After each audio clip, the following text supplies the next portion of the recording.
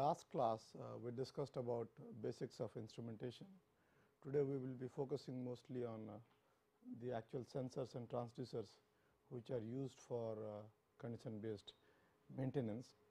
And of course, this list is uh, pretty exhaustive, but we will be focusing mostly on uh, the transducers which are commonly used mostly for vibration monitoring, current monitoring, temperature detection etc.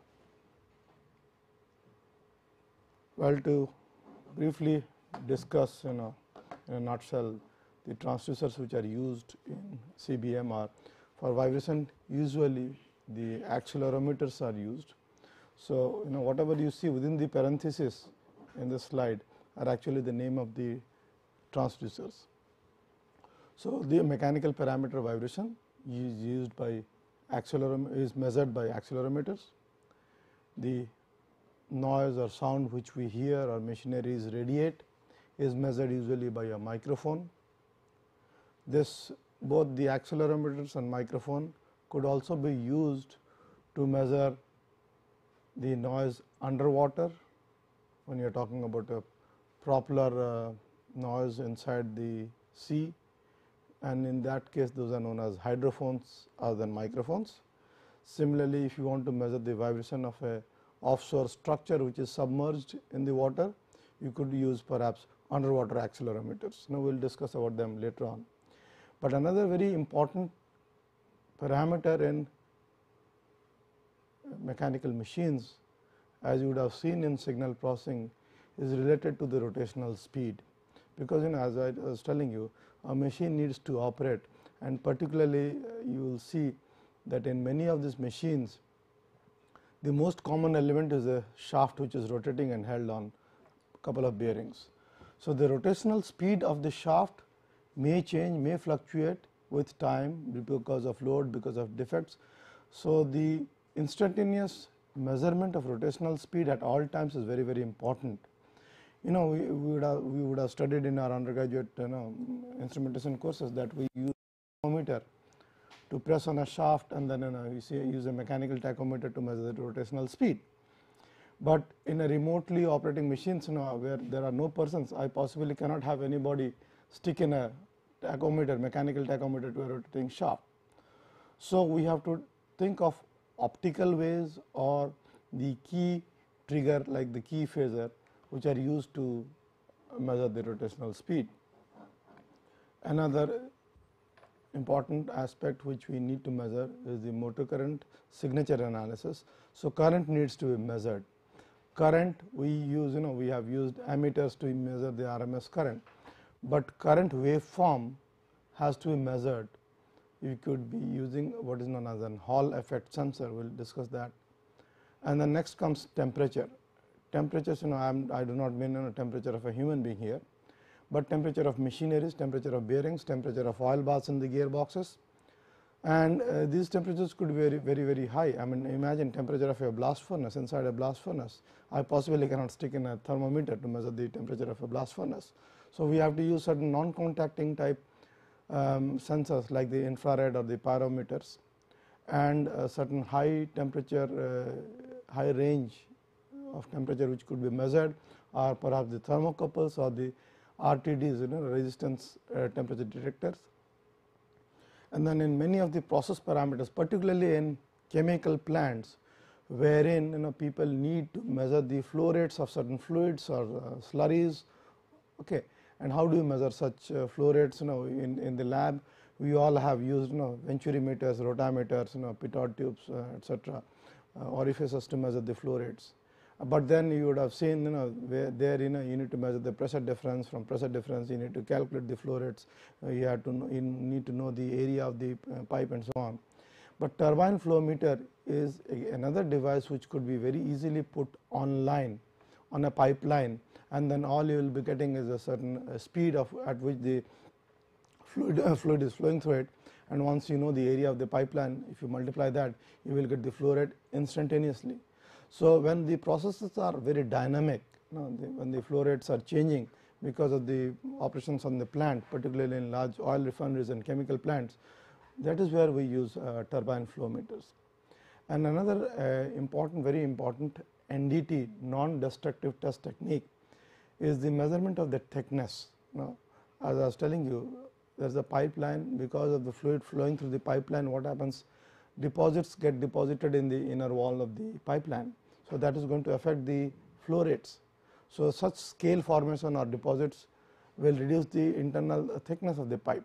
So, from outside how do I know that such a uh, buildup has occurred in the inner walls of the pipeline. This could be very easily measured online by an ultrasonic thickness gauge.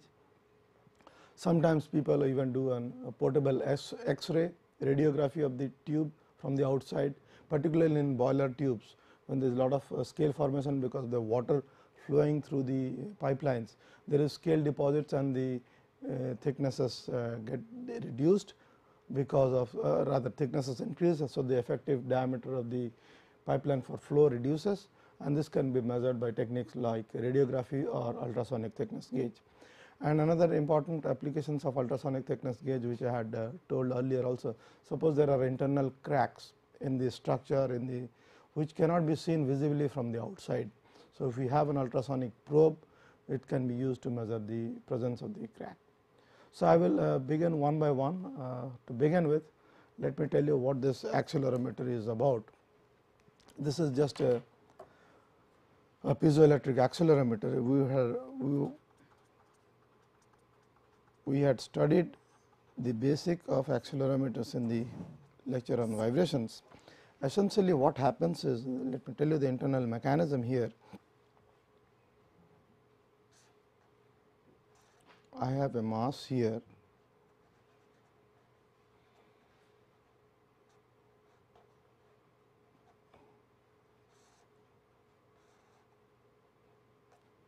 So, essentially if this is put on a structure which is having a motion x. Okay. So, onto this I put an unit like this. So, I would li like to measure the motion x. Now, what happens because of this motion x, this mass is going to have a motion y, it dependent on the k and c. So, somehow if I can have this motion y related to x okay, with certain functions of k and c, so, indirectly if I measure y I can know what the x is and this x is actually the vibration displacement here and this I will put it in a nice housing okay, wherein. So, this is actually your sealed unit or casing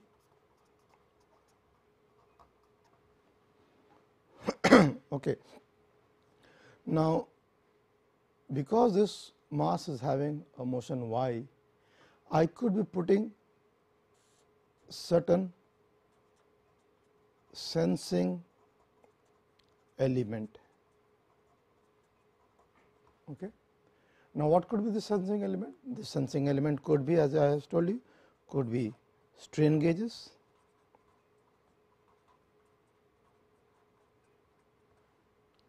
because you know because of this motion there will be some strain and the strain will be indirectly responsible get a measure of what is. So, this is what initially was the strain gauge type of accelerometers, but now strain gauges need, need certain power supply you know, they need to know resistance they have to be resistance should not change with temperature. So, there are certain problems with this kind of accelerometers, but then came a material which is known as piezo electric material. Now, piezoelectrics are actually naturally occurring materials. If you have not seen a piezoelectric material, uh, I do not know if you have seen sheets of mica, they look kind of uh, mica sheets and they occur in nature though artificially also we can clear, uh, create them in the laboratory I will come to that later on. But these piezoelectric crystals which are found in nature have a certain property. that is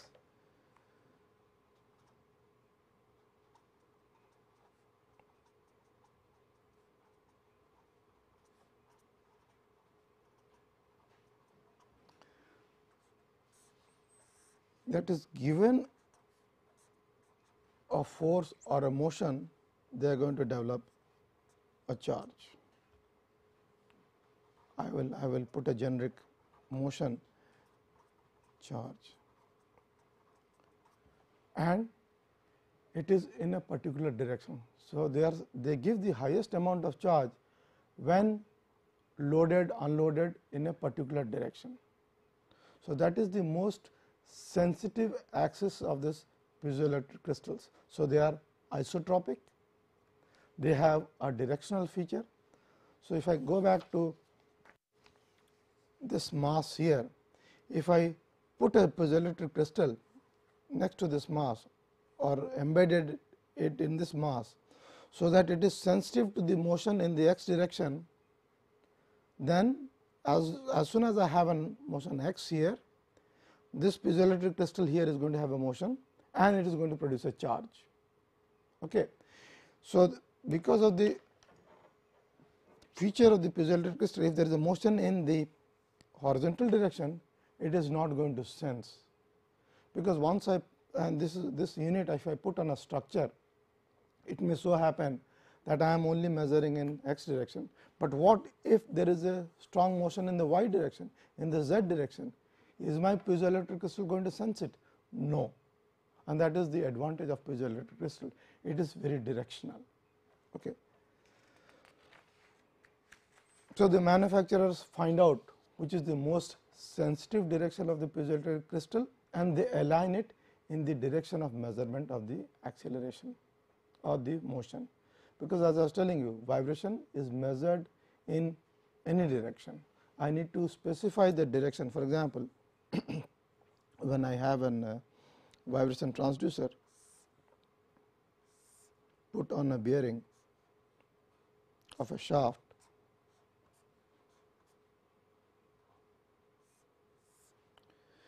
So, this is the radial direction, this is the along the horizontal direction, this is the axial and this is the horizontal or this is known as the vertical.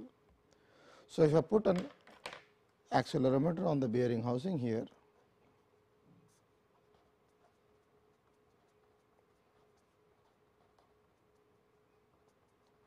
so it is sensing in only the vertical direction. If I want to measure in the axial direction, I have to rotate it by 90 degree. So, that this becomes in this direction. So, I have to align the accelerometers along their most sensitive uh, direction. So, coming back to the discussion of piezoelectric crystals. So, piezoelectric crystals are found in nature and which have this property that whenever I give a motion, they give a charge. Another very very important feature of the piezoelectric crystal is given an electrical charge, they are also going to have a motion and that is what is used in what is known as we are talking about in particularly in control when you talk about smart structures. Just for an example, say I have a cantilever beam. Okay, in its first mode of vibration it will have a mode shape like this. Okay. Now, suppose I want to reduce it is it is having a, a motion suppose I want to reduce this motion here. So, what I what I could do is I could perhaps bond certain piezoelectric material and give an electric charge proportional uh, electrical charge here so that this comes back. Okay. So, particularly whenever you know because of motion there are certain uncontrollable flutters. Okay, flutter means an uncontrolled vibration low frequency um, low amplitude vibrations and I could reduce that by putting up piezoelectric crystals. For example, you know when you have a space shuttle uh, when you have the you know solar panels deployed out of a space shuttle because of motion they will have some amount of motion. So, this motion could be reduced by putting in piezoelectric crystals and giving them proportional charge. So, that they will give a motion back and they will go back and reduce the motion. So, this is we, we are not going to discuss this in the uh, transducers for CBM, but it suffices to say that in accelerometers nowadays we use piezoelectric crystals as the most sensing uh, elements because they can withstand high temperature, they do not require an external power supply like in the case of a strain gauge. And they can be very small in size okay, and then they can be also put inside. So, for example, if you look at this accelerometer here, this is this is the connector wherein we get the signals to uh, the, we get the charge and which will be amplified and then you know propagated. So, this transducer this is the base and the piezoelectric crystal is already sealed inside this. Okay. I will show you another accelerometer. This is another accelerometer where this this diameter is about the size of a 50 paisa coin. Okay. And there is a connector wherein we connect the cable and sometimes the connector is on the top, sometimes it could be on the side, it depends on the convenience of using it. Now, this is a very very important accelerometer because and this is known as a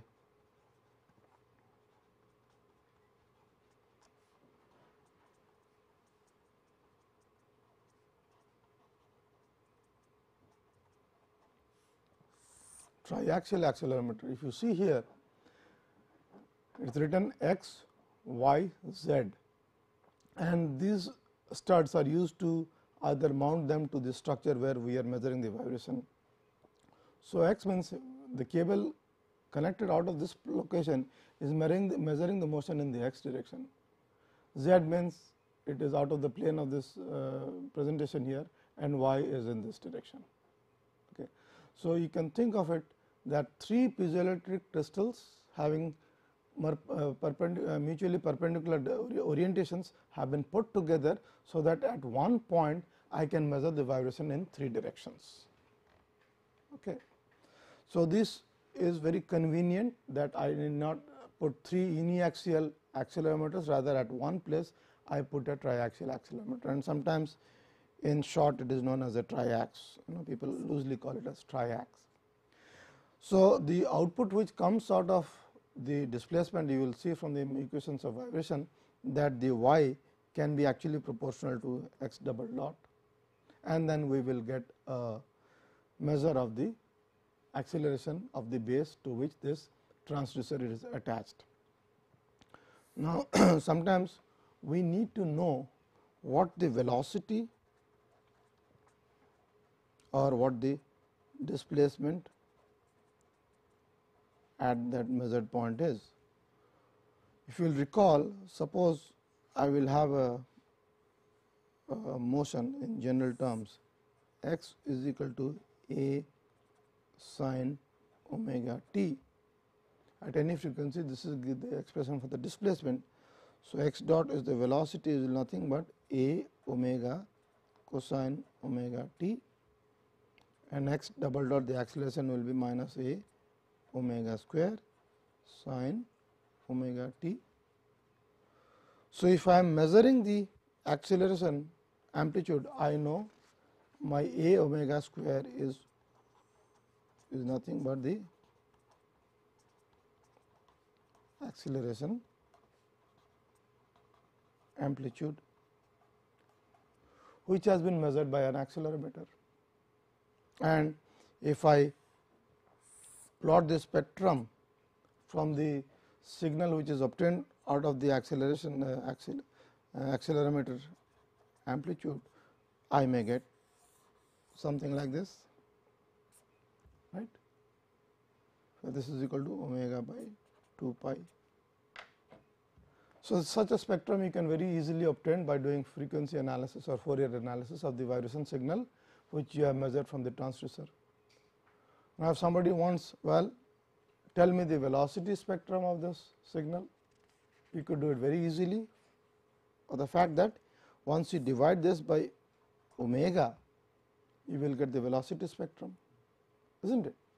And then if you divide it by a omega square by omega square, you can get the displacement spectrum So, this is done electronically. Once you measure with an accelerometer, you measure the acceleration a omega square. Once you do the Fourier analysis, you will get the spectrum. All you have to do is at every frequency, either you divide it by omega or divide it by omega square and then you will get the velocity spectrum or displacement spectrum.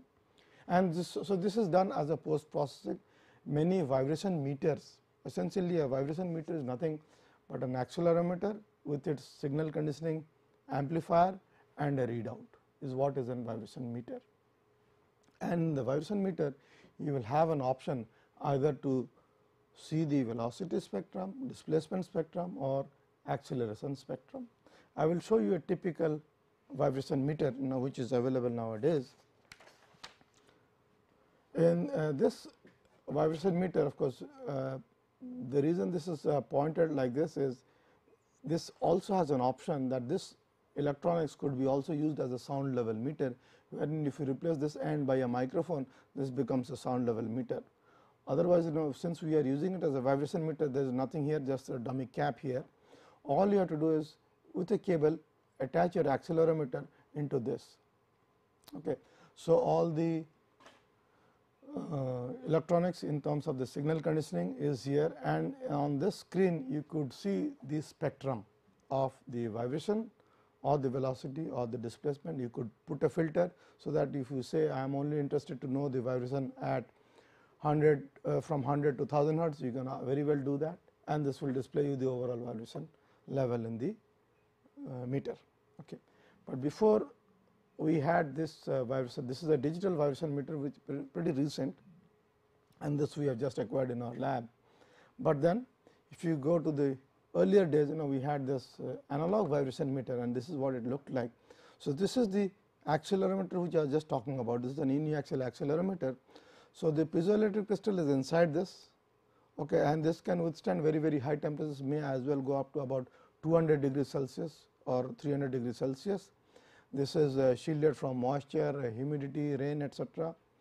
And then this cable because as soon as the charge is produced, we will go to the details of the vibration transducers uh, regarding the mounting etc. in the subsequent classes.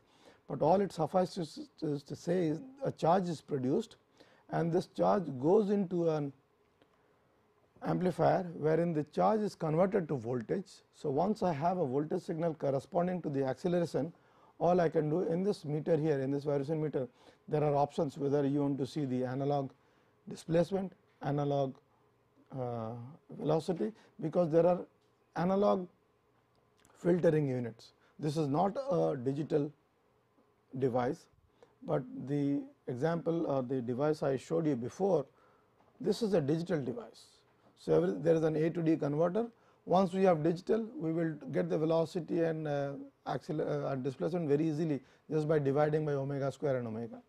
But in th those days, when the computer aided data, data acquisition was not available, people were using electronic integrators or in, in this case, yeah, electronic integrators to obtain the displacement and velocity from the measured acceleration. Okay and then you had an analog readout. So, this is kind of very obsolete, but this was a very popular equipment of a, a particular manufacturer. Okay. Now,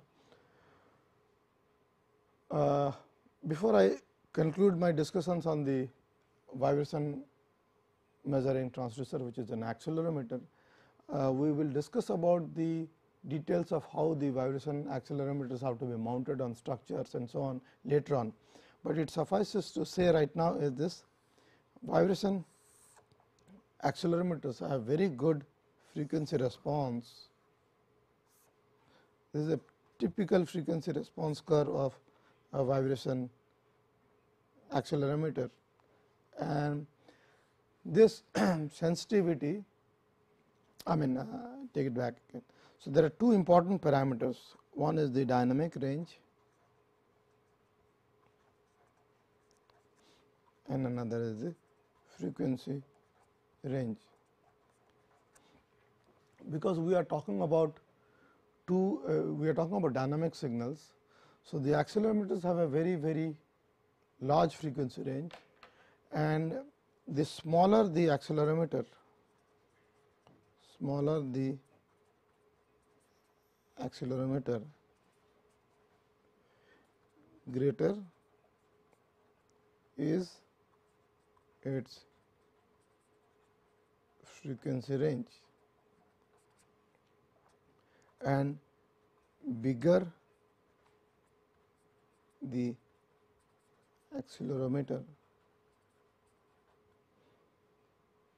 greater is its sensitivity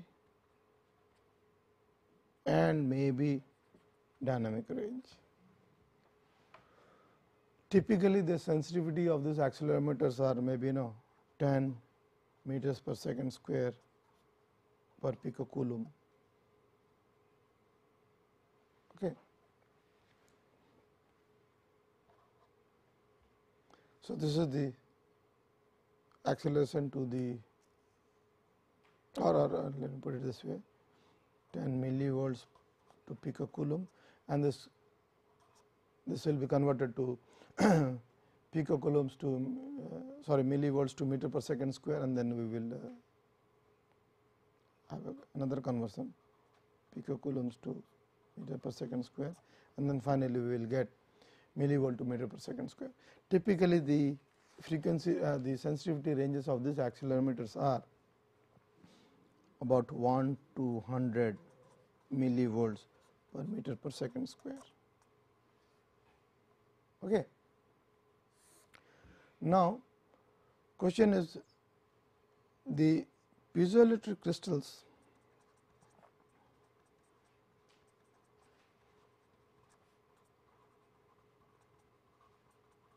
produce a charge. So, I cannot store charge for a long time because they will discharge and decay with time. So, a charge to voltage conversion needs to be done and once I have the voltage I can send it through the signal. So, some accelerometers which we just discussed they are the charge type Another is the integrated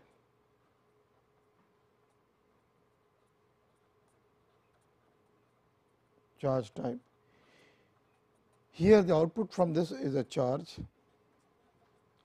here from the output from this is a voltage, because the voltage conversion is done inside this. So, there is an additional electronics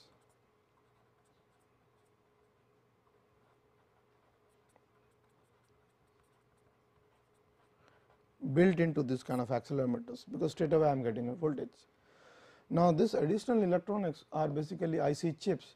So, because they are inside this element you know which is put in a stainless steel casing, I cannot subject this integrated charge type of accelerometers to more than 100 degrees Celsius is not allowed. Okay. They have to be at a lesser than 100 degrees Celsius. But this charge type because the electronics is outside in the vibration meter, I can go maybe up to 250 degrees Celsius. Okay. So, this is two things you have to keep in mind particularly when you are doing vibration monitoring of places where the temperatures are high, high gearbox temperatures or bearing temperatures, we have to use charge type of accelerometers. And this integrated charge type of accelerometers or ICP type of accelerometers could be used in room environment when you are doing modal testing when you are doing you know in uh, low temperatures you can use this kind of accelerometers, but for high temperatures for rugged industrial accelerometers which you need to always use charge type. So, this selection you have to keep in mind when you are using accelerometers. Now, let us talk about another important uh, mechanical parameters this mechanical noise and this is essentially measured with a microphone. So, microphone as I was telling you has uh, two plates So, one is the base plate and another is a very thin membrane or a diaphragm. So, this membrane is going to deflect and this gap is going to change.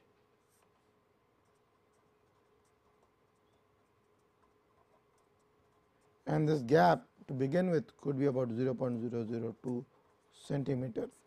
So, you can imagine the care they take in manufacturing this piezoelectric uh, this uh, uh, microphones. Okay. And this uh, microphones could be of many type. One is this is what I have drawn here is a condenser microphone.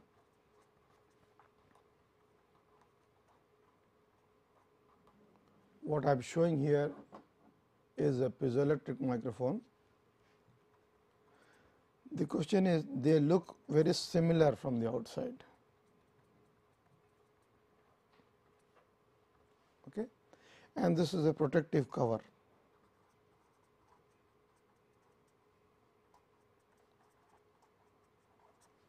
So, this is the uh, this this slots here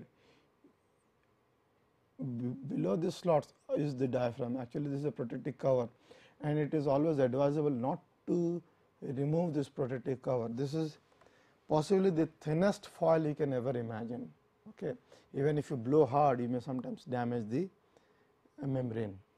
Okay. So, this, this is why it is a very very sensitive equipment. So, we have to be very careful and thus this is this protective cover which is advised not to be open.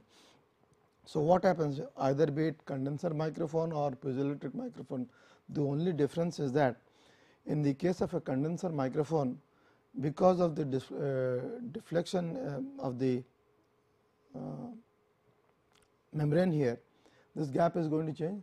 So, the capacitance between these two plates is going to change thus I will get a charge which is uh, uh, which is or voltage which is proportional to the motion of the diaphragm that is what is the condenser microphone. Okay. But in a piezoelectric microphone what we have connected to the base plate we have certain piezoelectric crystals. So, because of this motion the piezoelectric crystals will have a deformation and then that is why they will have a um, the output. Now, the difference between condenser microphone and piezoelectric microphone is condenser microphones can last forever practically, because there are just two metal plates. Okay. But the piezoelectric microphones will lose their sensitivity, because the piezoelectric crystals could possibly age, because they are exposed to the elements. In the, the case of the sealed accelerometers, the piezoelectric crystals were sealed forever. They were not open to the moisture or air and so on. But here in the case of piezoelectric uh, microphones, they are exposed because we have to have an opening for the air to be uh, impinged on the membrane for the it has to deflect. I cannot seal it totally. Since they are open, they will lose with their uh, sensitivity with time. So, they may age. So, if a condenser microphone just uh, if it costs 50,000 rupees, a piezoelectric microphone will cost perhaps about 10,000 rupees, just give an order of magnitude. And in your uh, high school physics, you must have uh, talked about the carbon granule microphones, the voice coil. So, uh, there is a because the diaphragm moves, the, there is a movement of the diaphragm. So, the coil will move and then a proportional voltage will come because of the movement of the diaphragm, where to which this coil is attached. So, if that microphone costs 100 rupees, piezoelectric will cost 10,000 rupees and this will cost 50,000 rupees. So, you can imagine what kind of ranges we are talking about. So, these condenser microphones have very very high dynamic range at the same time very very wide frequency response. They can measure as low as 0.1 hertz to as high as 100 kilohertz. Know, we only hear about 20 kilohertz, but there are many phenomena, the ultrasonic phenomena uh, beyond 20 kilohertz, which can be monitored through such condenser microphones. And again similar to the observations in accelerometers when the diaphragm diameter reduces their natural frequency is high. So, the smaller the diameter and this is about you know, as you can see this is about half an inch here. Uh, so, this has a typical frequency range up to about 20 kilohertz. If I make it smaller I will have accelerometers up to 70 kilohertz up to 200 kilohertz because you will be wondering know, what do I do with 200 kilohertz? Because I cannot hear any sound at 200 kilohertz. That is fine, but there are a lot of mechanical phenomena or phenomena occurring at such high frequencies particularly whilst you are doing abrasive jet machining water jet machining etcetera, they produce a lot of ultrasonic waves and uh, ultrasonic uh, which could be captured by such microphones. Similar to the vibration meter, these microphones are also put in a sound level meter. So, this is a sound level meter wherein the microphone is only this part okay, and then we again have a preamplifier and a display unit which will give you the overall uh, sound pressure level in a particular frequency range and then you have an option of selecting the frequency band and so on and also you have an option of either recording the output. Okay. So, this is a typical sound level meter. Now, this microphones could be used to measure noise underwater and these are actually known as hydrophones. So, the piezoelectric sensing element is here and this black one is just a protective cover. So, when the water waves or the waves come and impinge on this surface, the piezoelectric crystal inside this also gets a motion and this signal is converted and sent to a charge amplifier. You will be wondering why such a long cable, because this is about you know 10 meters long cable. This could be this could be ordered to even 1000 meters, 1000 meters, 1 kilometers. You want to measure your noise deep in the ocean, you can have an hydrophone just dropped into the ocean and then you will have a long cable coming from that. And in the air the on this on the ship you could be possibly instrumenting it to an um, uh, amplifier and then see the output okay? And such are known as hydrophones. You could have an array of hydrophones to sense from which the direction the sound is coming. And particularly in you uh, know, ship hulls and submarines in the front there is there is a lot of such hydrophones which are which actually work as sonars okay? And uh, this is a very very costly. Now when I was talking about the microphones if the microphone is 50,000 rupees this is about 3 lakhs of rupees. So, I am just giving a feel of the price of this equipment and the how sensitive and uh, uh, important these things are. Similar to the hydrophones we also have underwater piezoelectric accelerometers. Again you see a long black cable uh, and this is the accelerometer and which is again this is this end has to be just attached to the structure. And then you take the long cable and then go outside on the air or in the ship or in your lab measure this using an amplifier. Okay. So, we just concluded measuring the uh, I mean I was talking about the vibration and noise measurements let me talk about the rotational speed measurements. Two important equipment are used to measure the rotational speed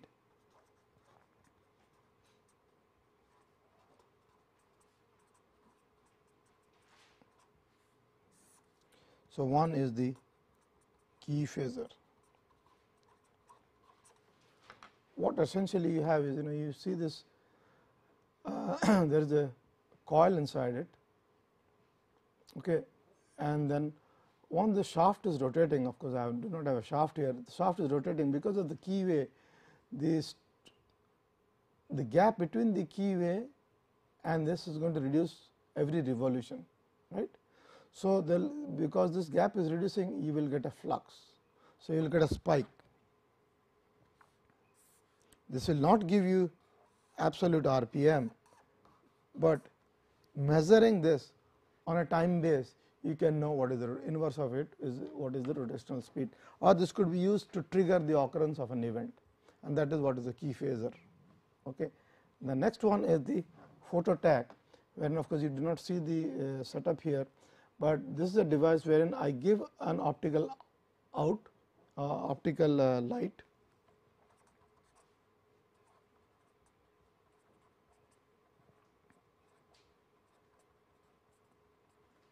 Okay. And on the shaft I can put a reflective tape. And every rotation this reflective tape is going to come just below the transmitted light. So, it is going to reflect it back again. So, I will get a light pulse back. So, again from the electronics I can measure the distance between the time distance between the transmitted and reflected and know the time taken for one rotation. So, such photo tachs the beauty of such photo tachs is unlike mechanical tachometers wherein you have to press onto a shaft and because of this such a load the shaft speed could reduce. These are not loading the structure and they have a very fast response time. You could measure speeds as high as 50,000 rpm with such phototachs or tachoprobes.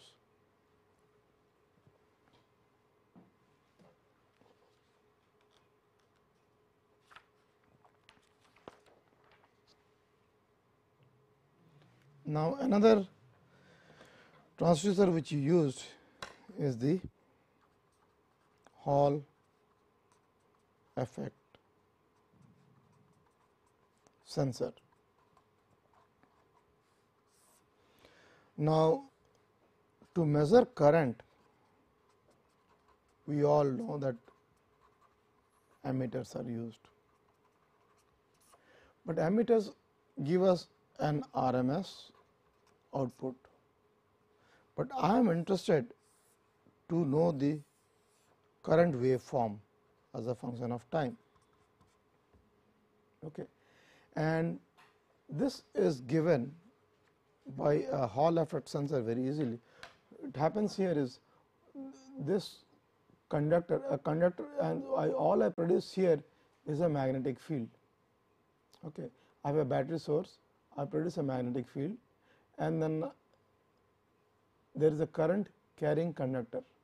So, depending on the intensity of the current, depending on this magnetic field, this guy is going to generate a voltage. So, the simple uh, laws of magnet magnetism. Okay. And this current is proportional is shown as an output voltage. So, usually the typical sensitivity of such Hall effect sensors is about you know 10 millivolts per ampere or about 100 millivolts per ampere. Okay. I can increase the sensitivity of this by instead of one cable let me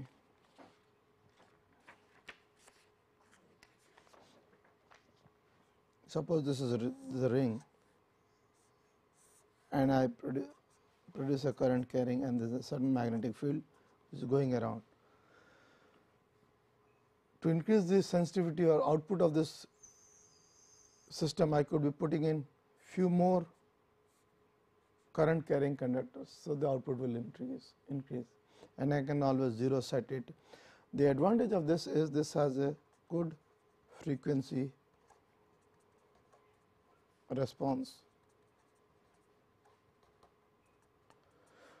almost from 0 or 0 to 500 hertz you can measure with such current carrying Hall effect sensor, which is not possible with ammeter. Now, our typical current supply current is about 50 hertz okay. And these ammeters can measure only up to 50 to 100 hertz. But you will see later on when you talk about motor current signature analysis, when we are discussing about how this waveform can be analyzed to find out the mechanical defects, I need to know the waveform whether there is any fluctuations in the waveform etcetera at what frequencies. So, this is where this Hall effect sensors are very advantageous and I will get a voltage output corresponding to the Uh, current carrying by the carried by the conductor.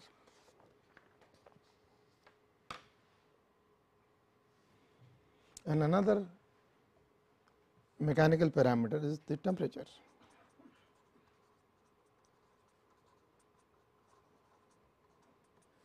and temperatures could be measured by thermocouples, RTDs, pyrometers. Okay.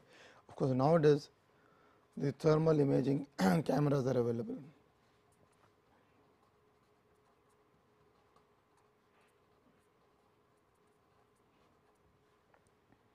because there are many devices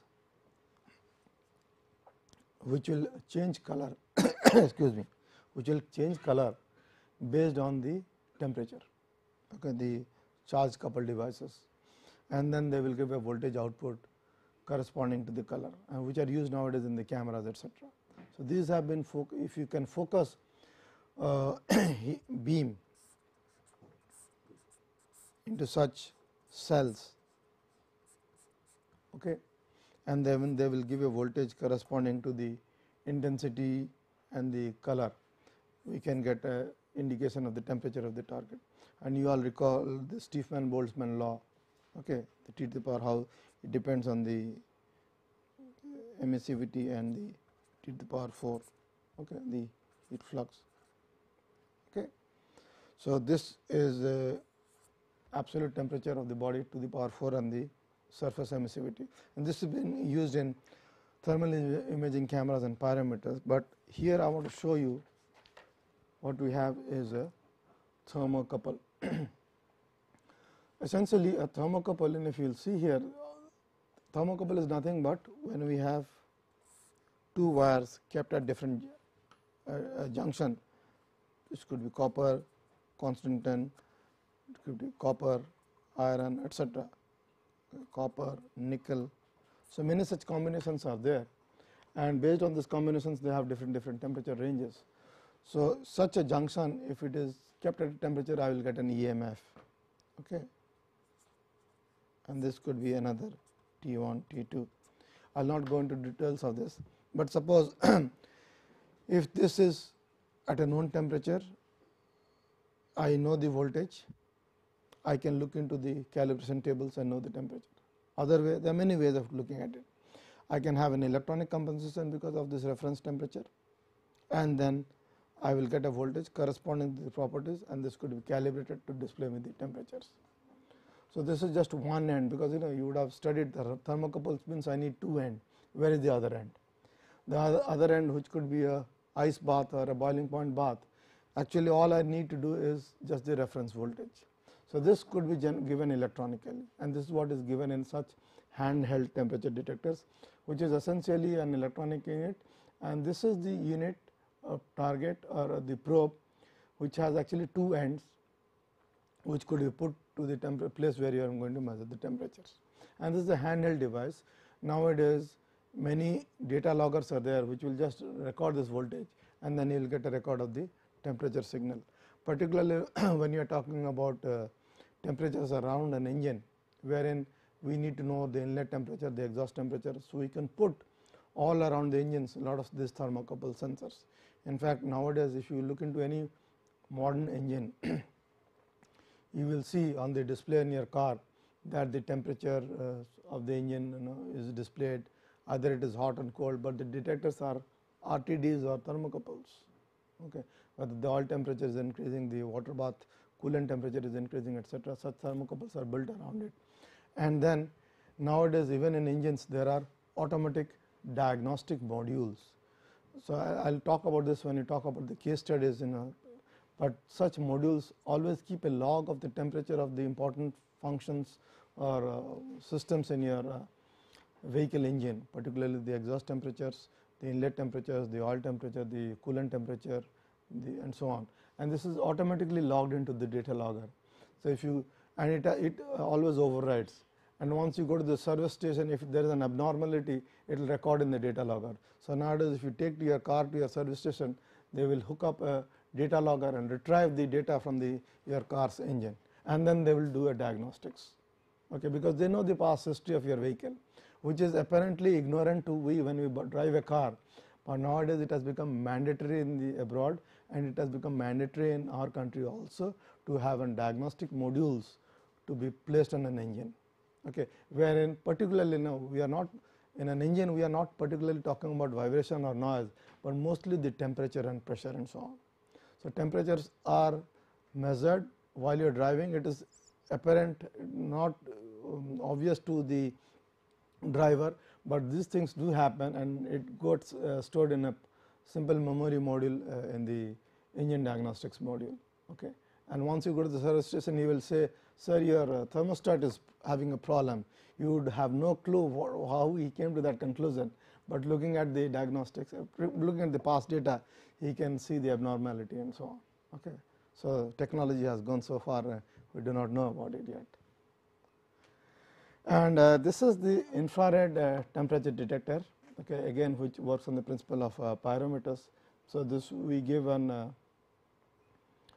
optical uh, light beam and depending on the reflected intensity back uh, we can know the temperature. All you have to do is it is set for a particular emissivity, but there are very much much uh, sophisticated versions of this infrared temperature detector, wherein you, you can choose and select the emissivity.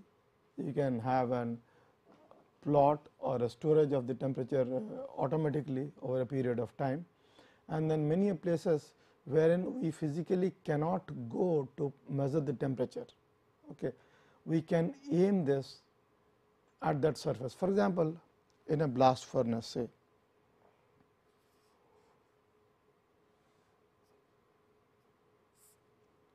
See this blast furnace in the inside they have a refractory lining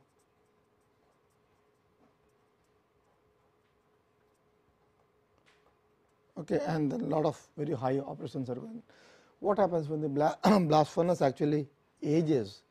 Some of these refractory linings may weaken, may break off. So, if you from the outside if you do a if you if somebody is standing next to the blast furnace and do does a thermal scanning either through a thermal imaging camera or just an infrared temperature detector he, he will see some spots wherein the temperature has suddenly increased because the insulation, the refractory insulation, thermal insulation has deteriorated, we can easily record it. Okay. So, because CBM always does not mean of dynamic signals, but these give us some clue as to what could be possibly wrong with the system. Okay. For example, another place is I have a pump or a motor driving a pump and because of misalignment this coupling is becoming hot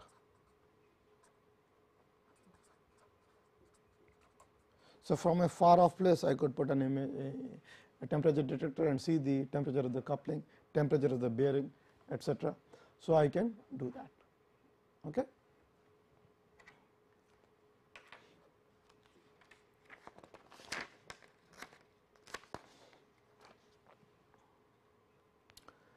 Uh, another very important equipment is ultrasonic thickness gauge which I had discussed about it you will see this is the ultrasonic probe which has to be put onto a surface whose thickness or I need to measure.